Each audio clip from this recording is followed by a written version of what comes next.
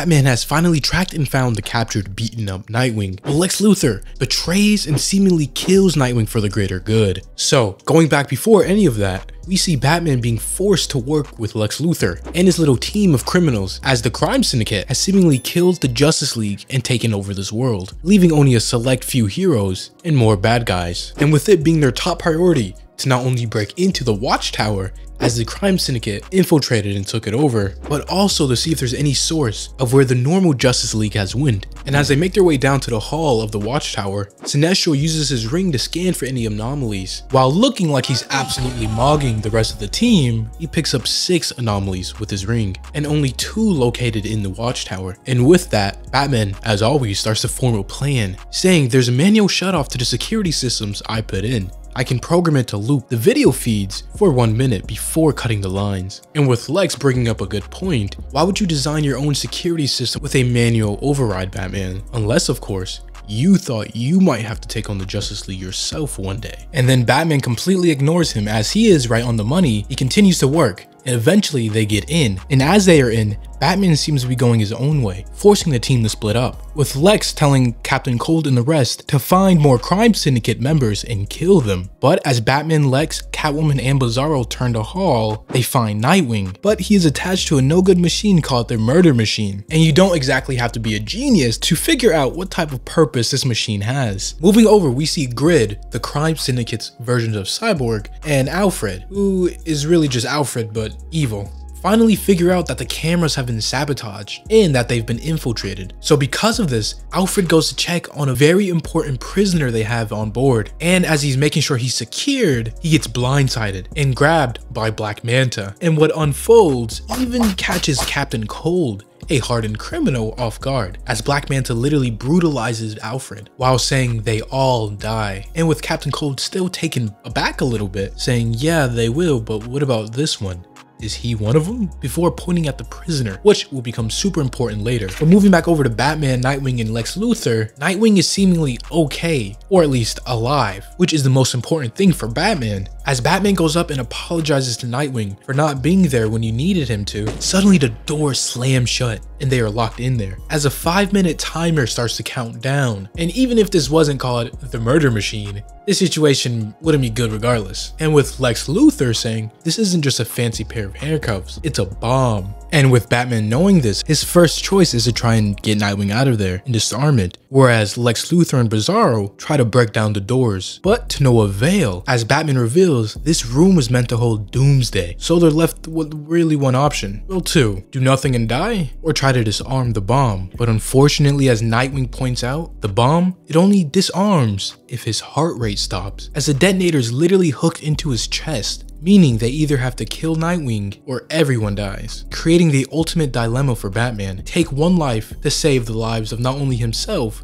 but others. And with Nightwing himself even saying they still have time, they need to just leave him and try to find a way to get out of here. But Batman, feeling absolutely guilty from leaving Nightwing and allowing him to get in this situation in the first place, saying, no, I am not leaving you. I'm not abandoning you again. The only way we're getting out of here is together. But unfortunately, the wires, every time Batman tries to cut one, it fixes itself. All while the timer beeps down slowly from 5 minutes to now 3. And remember before how I said this is a dilemma for Batman? Well, it's absolutely not one for Lex Luthor. As Lex Luthor would be comfortable sacrificing hundreds, if not thousands of people's lives if it meant saving his own. But just then, Lex then shoots Batman in the back, much to Catwoman's disapproval, but she is easily stopped by Bizarro. I'm making an executive decision. I'm saving our lives by ending his. I'm sorry, Grayson. As he seems to put his hand over his mouth, looking like he might break his neck. And as Batman recovers, he and Catwoman starts to fight Bizarro. And with Batman needing to even the odds,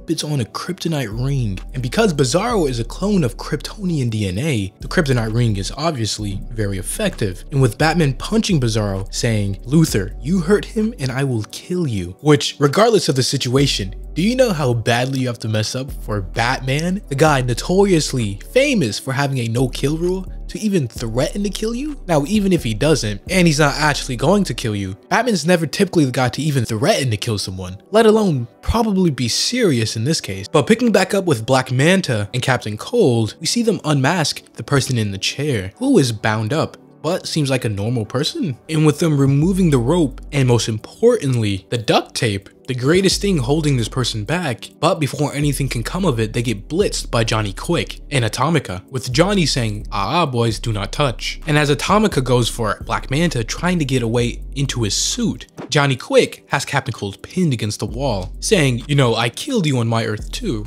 You didn't have this stupid freeze gun though. It's not a freeze gun, it's a cold gun. You see, lots of guys shoot ice, but I don't. I literally stop movement altogether. I stop atoms cold. I'm the man who mastered absolute zero. So even though he's a lot more powerful than a guy that can just freeze things? Realistically, the Flash should still never even get hit by something like this, let alone lose Captain Cold. But he is one of his rogues for a reason. And as Johnny Quick pointing out as he has the gun in his hands, it doesn't matter if you can stop things absolutely if you don't have your finger on the trigger. But Captain Cold is a smart man as he has voice control on it. And the phrase that activated is Jingle Bells, Batman smells, as it then shoots Johnny Quick in the leg for Captain Cold literally shattering it, making it so Johnny Quick can never run the same again. Now the next part of this comic happens side by side and parallels the end reveal as you see Atomica yelling in distress saying are you insane? You took the tape off of him? Quick, put it back on, shut him up. As we see the mysterious individual say,